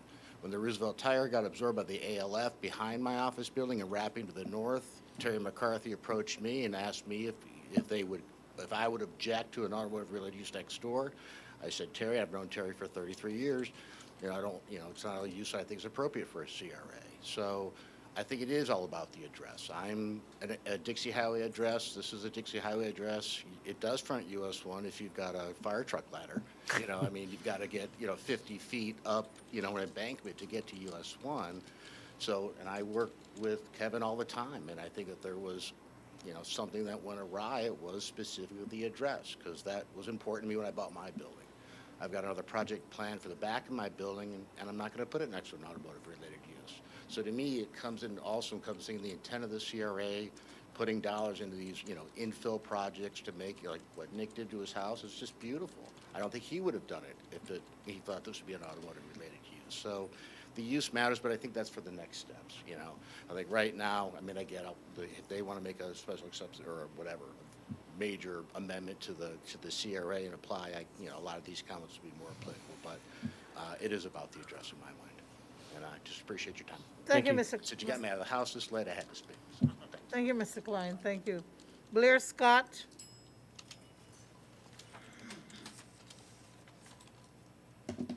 Good evening and thank you. I'm speaking to you as a property owner on Palm Street, Australian, and also Stewart Avenue. Um, Also coming to you guys as a person who grew up in Stuart, Florida, and uh, happy to be back. So really excited to see the progress that's been made over the past several decades. Um, So I, I first of all just want to say that I agree with everything Nick Schroth said. Um, I think he made very good points um, about the address. It is, in my opinion, and just with general optics on Dixie Highway. And I think that is the matter that is kind of in, in contest right now. Um, But just as a high level, I just want to say that the use as proposed um, by Giant Oil, it doesn't really seem to comport with the vision of the city of Stuart and uh, the CRA as it is going forward. Um, There's a couple of environmental concerns, and as uh, Vice Mayor Matheson echoed earlier today, he was concerned about the environmental stakeholders in Florida. I am one of those people, and uh, I am concerned about the environmental use, the oil, and I am also concerned about their potential past issues with uh, complying with uh, the city standards um, and how they would continue going forward. Um, And also to echo uh, Mayor Eula Clarke, uh, we are worried that we are creating so much trash. I am also worried that we are creating so much trash, and I think a better use of this area would not be for another oil place or a vehicle automotive repair, but maybe something just a little bit more environmentally friendly, which would also uh, kind of comport with the, the vision of Stuart and a lot of the residents within it. Thank you. Thank you. Thank you, Ms. Scott. Any other members of the public who did not present a card on item number six who would like to make a comment at this time based on our conversations so far and the motion that's been made? Any other commissioners before I ask for um, the clerk to call the roll? Okay, I'm going to close this discussion. Um, We've heard from the staff, we've heard the discussion of the commissioners, and we've heard from the appellant, Mr. Schroth. Um, No further input. Clerk, would you, p- This is just the finding of fact yes, motion. yes. Clerk, would you please call the roll? Commissioner McDonald? Yes. Commissioner Meier? Yes. Vice Mayor Matheson? Yes. Mayor Clarke? Yes, Commissioner Bruner? Yes. yes. I'll go ahead and move to grant the appeal. Hey. All right. There's a motion and the second. Is there any member of the public who has, uh, uh, um, Can I just clarify what the motion was? To grant the Oh, to appeal. grant the appeal. Do You want to say something, No. Mr. Meier? Um, Sorry. okay, can you, um, can Mr. um, Mortell read the appeal? Do we need to read that again, Mr. Mortell? appeal the determination of comparability at 728 Northwest Dixie Highway. Um, Do you want me to read Mr. Schroth's entire appeal, or do you? No. It's not a resolution. It's not a resolution, but just, So- just the title again, that they're granting. This is an appeal of a determination of comparability at 728 Northwest Dixie Highway for use of retail sale of vehicle parts together with vehicle repair with all activities taking place within an enclosed building. The property is zoned urban highway. Thank you. And that motion was made by um, Commissioner McDonald, seconded And by, for, and for clarification, the granting of the appeal is to rule in favor of Mr. Schroth's objection to the use. Yes. Or to the determination. Determination- Right, not to the use. Right, to the the determination. determination Okay. of Right. by the, by the development director. It sounds like, As opposed to whatever it sounds like we're front of the splitting hairs, but, you know, It'll matter my, later. Bus driving by right now. my antenna are up when I see the stenographer, so we fine. need to We- make sure. We, this is new ground that we're doing here, and um, it's, uh, thank you, Kevin, for your thoughtfulness in looking at this, this manner. And also, thank you for your thoughtfulness, Mr. Schroth, in, um, this will help us to hone everything that we need to do in our infill redevelopment and in, in dealing with our code and other areas. So thank you. And Madam Mayor, if I may, I just want to say for the record that, you know, we've heard public comment on the, on the use itself and the CRA and the vision. And again, just to be clear, that this motion is solely about the development director's use of the determination of comparability. We're not, we're not going any deeper than that. So, Yes, thank you, and that, that's why I made sure that we reread the, the item. Clerk, Madam Clerk, uh, again, is there any public comment, or is there anything on Zoom, Mr. Paul? No, ma'am. Yes, sir, thank you. Madam Clerk? Mayor Clarke, Yes. Commissioner Bruner, Yes. Commissioner Meier, yes. Commissioner McDonald. Yes. Vice Mayor Matheson. Yes. Thank you. We have tread new ground, thank you very much. Um, item number seven, chapter sixteen, emergency management. Uh, Yes, this is ordinance, this is the uh, first reading, reading of ordinance number 2468-2021, which is an ordinance of the city of Stuart amending uh, Chapter 16, Emergency Management, providing for severability clause and a conflicts clause, providing for an effective date and for other purposes. Um, As a brief background, uh, as you know, the governor signed Senate Bill 2006 into law on May 3rd.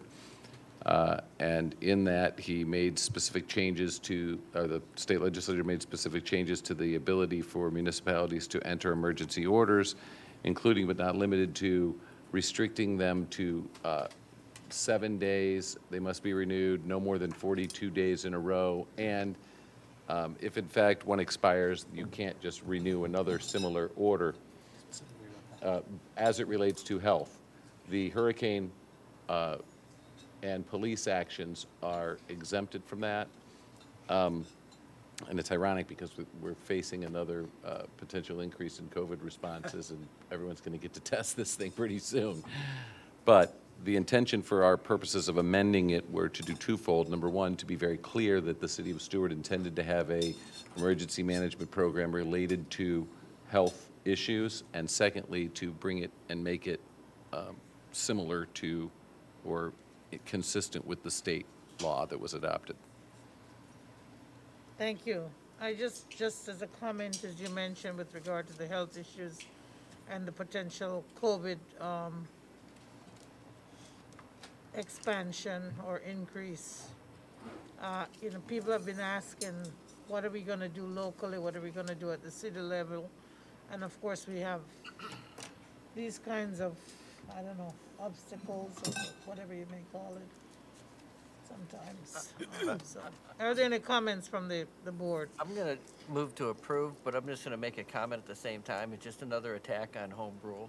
Yes. And it's just uh, another example of the legislature taking our abilities to, uh, the ability for us to govern our community as Mhm. our community sees fit, so. I, I'll second that, and I agree. We don't have too much option Yeah. here um, Yeah, to, to reject it. Yeah, but we're probably worse off if we reject it. Exactly. Um, So I'll second the motion to approve. Stuff. Um, any comments from the public? Ordinance number twenty-four sixty-eight, twenty twenty-one. We have a motion and a second. I should also mention that uh, Summer, our summer intern, had a significant role in writing this ordinance, and this is her last meeting, so came she's back here to, just for this. she's here just to see you guys She's adopt she's her work on her way out the door. She's here for Can we fun have a today. full- This was, Full-blown- by the way, this was supposed to be the second COVID, or the second Costco meeting, really the reason for her extending her stay, but we disrupted that. Can I'm sure this a- won't be her last published legislation. Yeah, let's Right, have a should probably get full-blown others in the future. presentation From Summer. Well, If thank you want to Summer. come sit in my seat for the Costco meeting, you're more than welcome. Otherwise, Oh, it'd be a great day, to- reason to take off. Where, where you going? Go back to school. Uh, University of Miami. Okay. Nice. All right, thank you. Um, there are no public comments on, um, ordinance number 2468, 2021, which has been moved by Commissioner McDonald, seconded by Commissioner Meier, Matheson. Matheson. Madam Clerk, do we need? Commissioner Bruner, Yes. Commissioner Meier, Yes. Commissioner McDonald, Yes. Vice Mayor Matheson, Yes. Mayor Clarke. Yes. The next item is a discussion and deliberation of a proposed amendment to the city's land development code for extending or removing the deadlines of the amortization period for non-conforming pole signs within the city limits. I will give up my rights to the vice mayor, no. Stop that. Uh, Um, any, um, uh, staff, please? Yes, um, Pinal Gandhi Savdas, CRA Administrator for the record. Um, The reason this item is coming before you is because our code requires that all pole signs have to uh, come down or be removed by January 1st, 2022, uh, which is only five months from now. Uh, So that's why this is um, coming before you for direction to staff. Um, Staff identified that there were approximately 280 pole signs uh, within the city limits when we did the windshield survey back in 2016. Um, So we did a recent study uh, to identify how many signs um, are still remaining and or how many si- signs have been removed.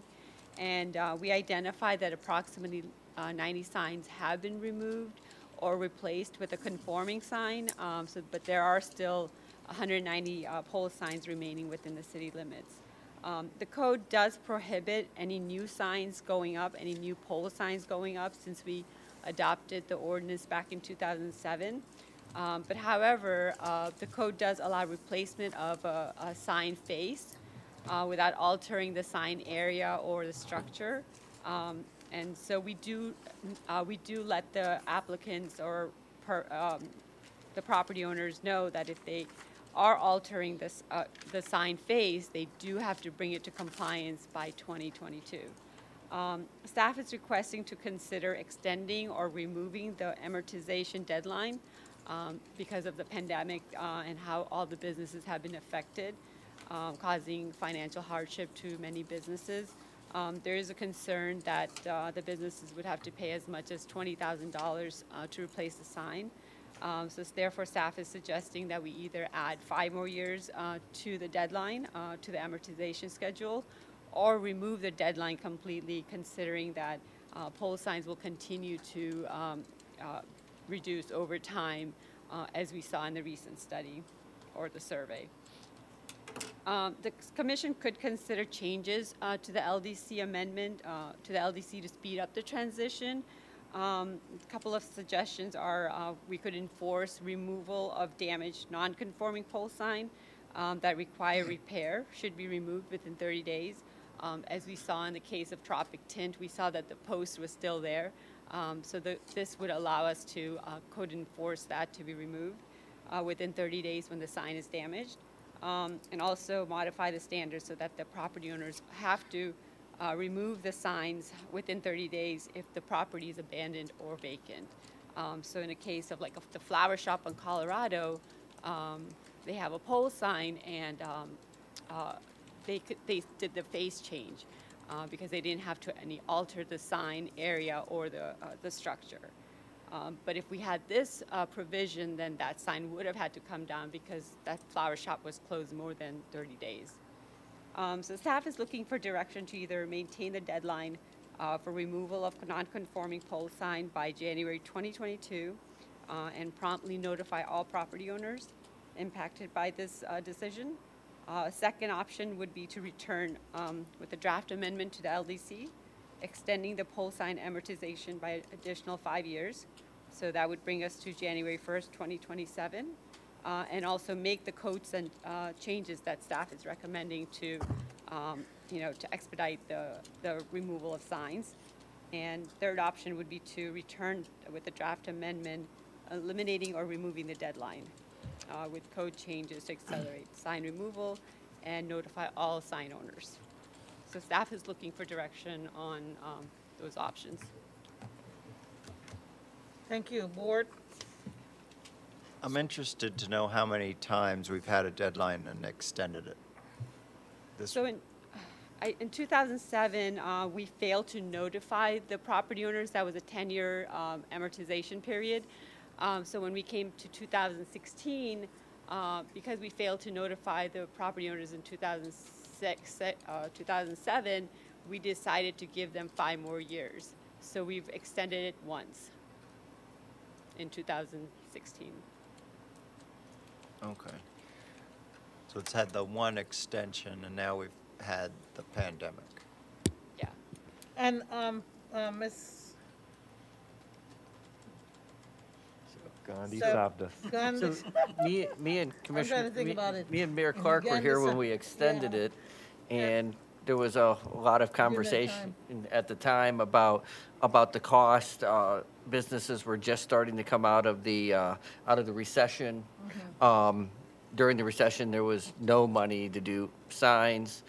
Um, I'm, I don't- I'm a little bit torn. First of all, I don't know if I would have, back in the 2000s, when, uh, whenever this ordinance was passed, I don't know if it's something I would have supported or not. You know, hindsight, it's easy to sit there and criticize somebody. Do- I think, Mike, I think you probably voted for it, right? I did. Um, I still support it. What's that? I still support it.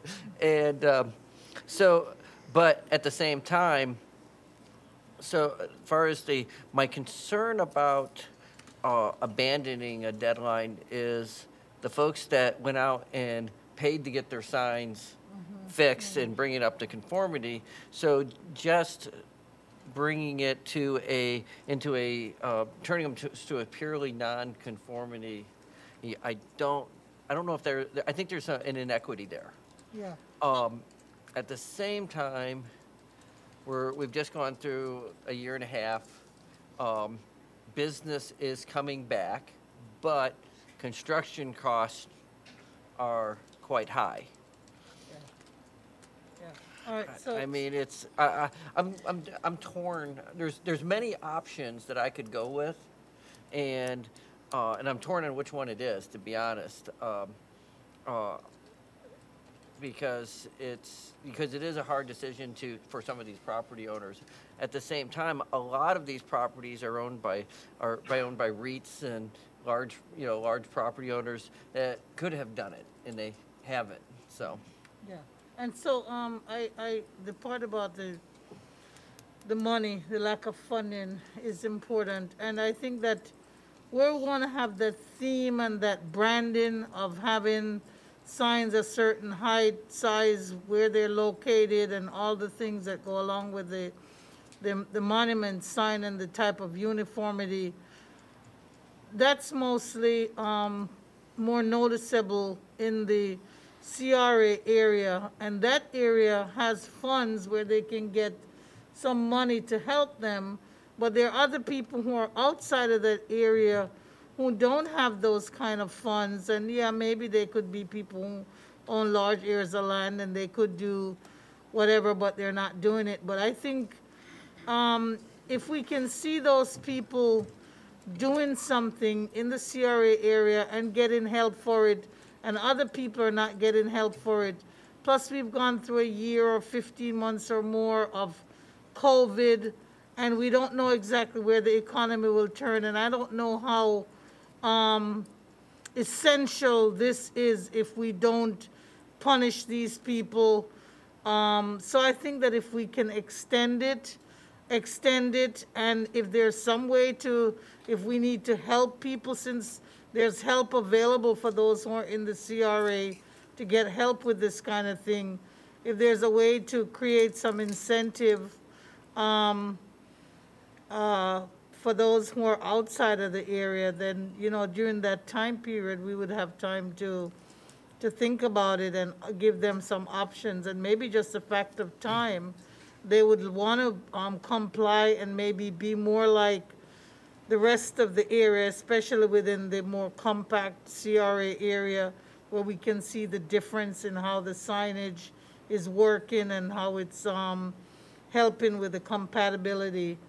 So, I don't know, I'm, I'd, I'd, I'd be for extending it. I don't know about five years, but maybe we could extend it for, is, can we only extend it by five-year increments, or can we do other Yeah, times? The commission has the discretion to do literally whatever it wants. You could, you could, you could simply say that they're pro- prohibited, but there is no deadline to take them down and grandfather it like you have other uses, and then just let it by attrition, you know, those that go away get rebuilt. And uh, Ms. Savdas Gandhi provided you with the list to demonstrate what historically, or Gandhi Savdas has, has been uh, happening. And I don't know the numbers, and I don't know how many each year go down, but it sounded to me like it's roughly 50% of them have gone away since the extension.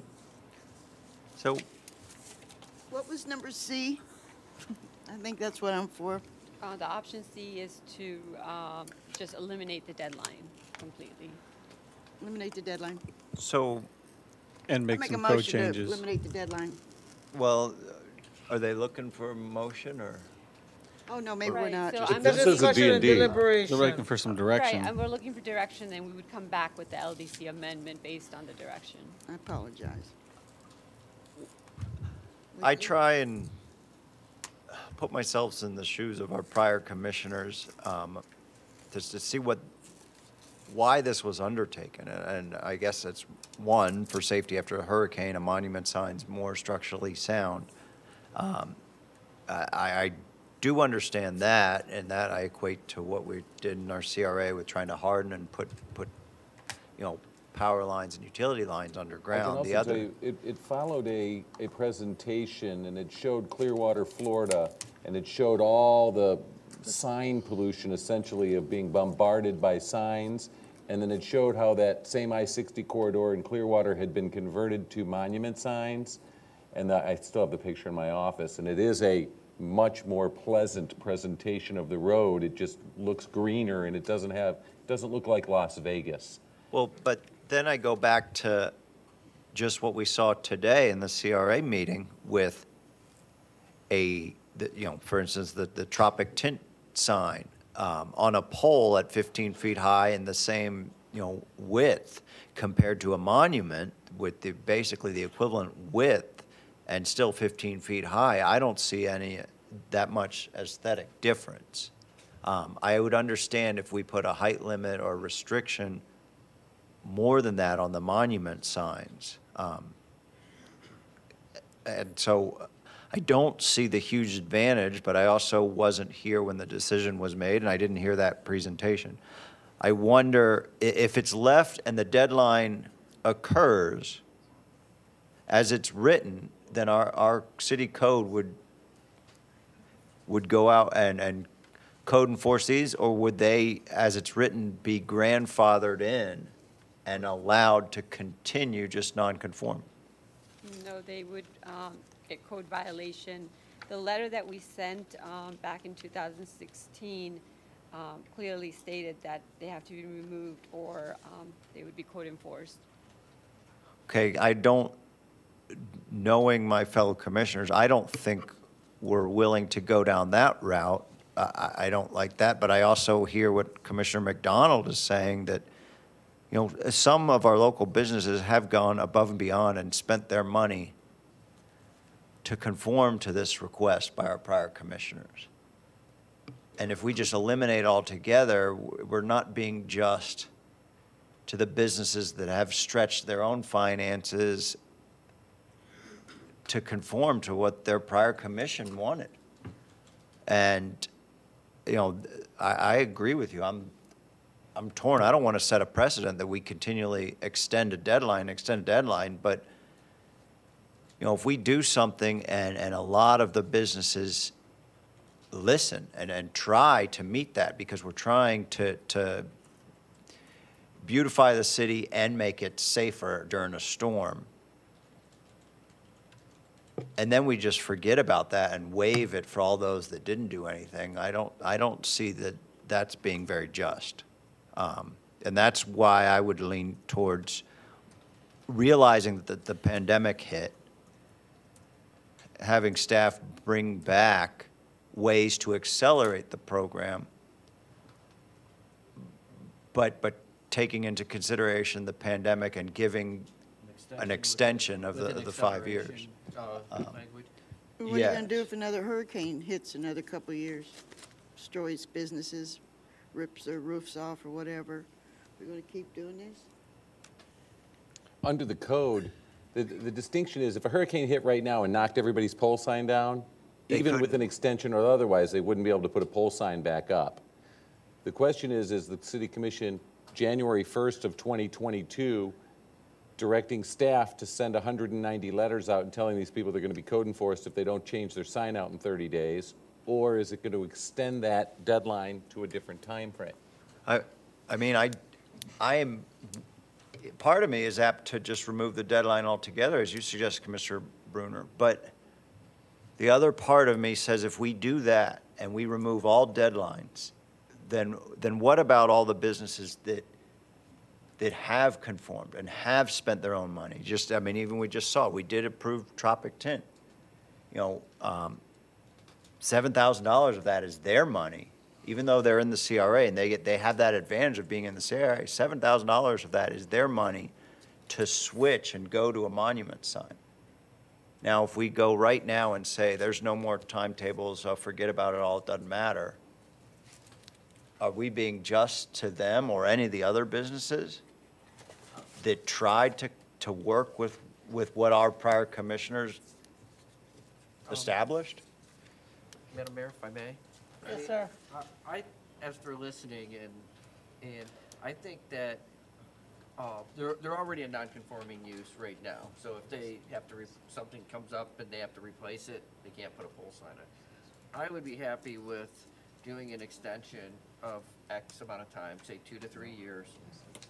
But changing, you know, creating some, I guess, you know, the carrot and the stick, the incentive to, to, in order to get that accelerated. I do, um, I think some of the options, uh, were a little aggressive, but maybe something in between, uh, not doing anything to encourage folks, but something that's, that says if it's, you know, if the property is vacant for a certain amount of time, or something that we, do- they have to go ahead and remove the sign. The, the damaged signs need to come down. Um, certainly, some of those things, uh, I think that we could do. I'm not, uh, and I wouldn't want to sit up here and decide right now what each and one of those are. I think that's something that gonna take some time to, for staff to develop. But this way, it takes off the, the burden of the, uh, that's been created by the higher construction prices that have been created by the pandemic. And at the same time, creates a little bit incentive to speed up this process. Aye. Thank you, Commissioner McDonald. I, I, I certainly agree about the vacant properties. If the property is vacant, you know, th- th- there could be a time limit for, for Yeah. that sign. And The- I don't know The what pole it should sign be. entirely being removed, they don't necessarily need to put a monument sign up until the property's occupied. Right, exactly. I mean, I, and I'm not sure, sure what that time frame should be. I don't, I think thirty days is probably a little bit short, just because that's just a transition from one tenant to another. Yes. But six months, a year, you know, set three months, six months, nine months, don't know.